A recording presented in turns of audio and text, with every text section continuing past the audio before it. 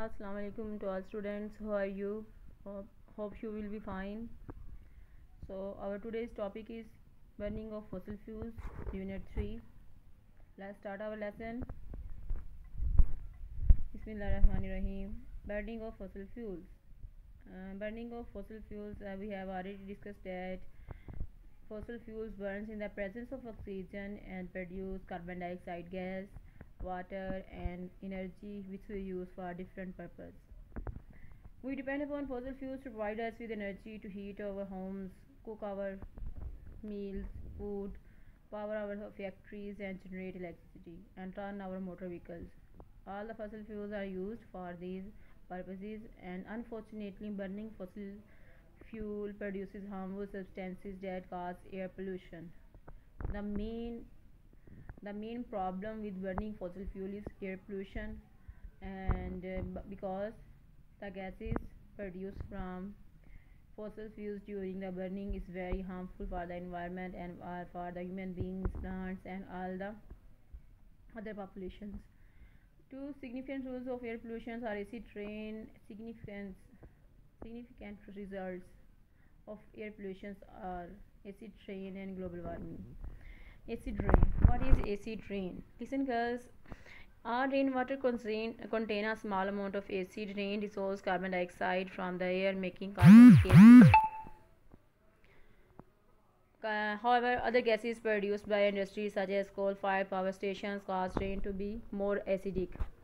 These gases are sulfur dioxide and nitrogen dioxide when dissolved in water they form sulfurous and nitrous acids respectively that uh, the damage done by acid rain is extensive. Listen guys as we know that burning of fossil fossil fuels produce different gases which is carbon dioxide sulfur dioxide and nitrogen dioxide. These gases are very very and uh, dangerous when these gases react with rain droplets. This they will form acid.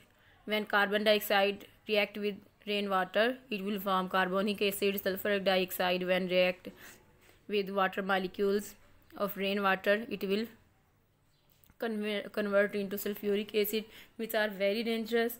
In many areas of the world fish in lakes and trees in forests are because the acid releases poisonous aluminium from the soil into the water. Building crumbling and metal constructions are rusting much more quickly because of acid rain so the main cause of acid rain is the burning of fossil fuels. And the, during the burning of fossil fuels gases are produced. There are three main gases which cause the rain to be acidic sulfur dioxide carbon dioxide and nitrogen dioxide. Burning of fossil fuels you can see here that also cause in the industries we use fossil fuels and uh, in industries in chemical industries in cement industries we use fossil fuels and produce large amount of smoke which causing the air pollution and it's the main effects bad effect of environment is the reason is the acid rain and uh, global warming First of all, acidic gases and their effects on environment. What are the acidic gases? Acidic gases sulfur dioxide, nitrogen oxide released into atmosphere during the burning of fossil fuels, gases carried by the wind, and gases dissolve in a rainwater to form acid rain. This acid rain kills plant life, pollutes rivers and streams, and erodes stonework. So acidic gases have many have many harmful effects on all environment and all on human beings also affected by it because they use polluted water and they inhale polluted gases and polluted uh, pollution and polluted and inhale in polluted and environment and due to air pollution.